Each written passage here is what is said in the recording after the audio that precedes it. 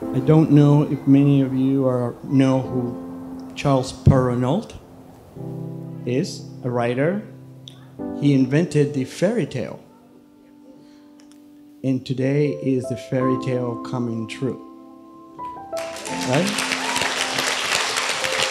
In the fairy tale story, Sleeping Beauty waited a long time.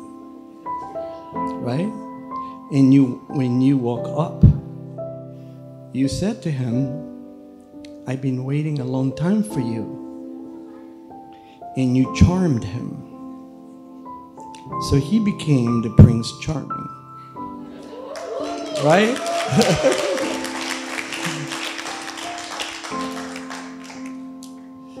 so I said to Nicholas, Why are you so charming? I'm French.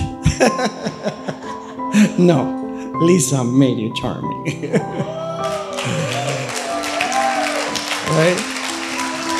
Lisa made you charming. I didn't know that, but Lisa made you charming.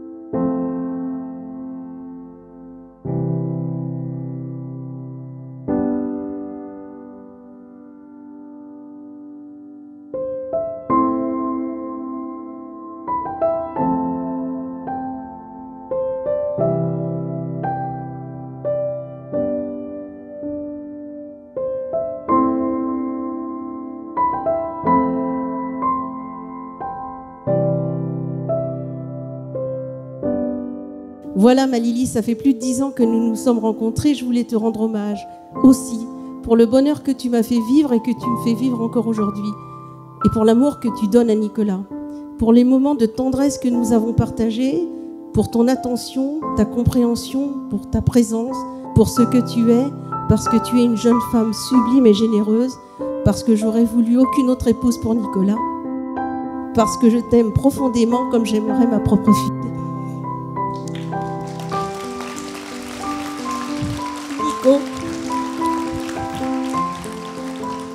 Je t'aime d'amour, de peur, d'admiration, plus que tout.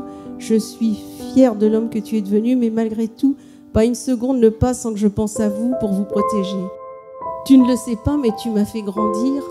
J'ai un livre d'amour sur mes fils qui est gravé à jamais dans mon cœur, dans lequel j'ai ajouté Lily. Il n'existe pas assez de mots pour vous dire que je vous aime. Je vous souhaite une longue et merveilleuse vie pleine de bonheur et d'amour.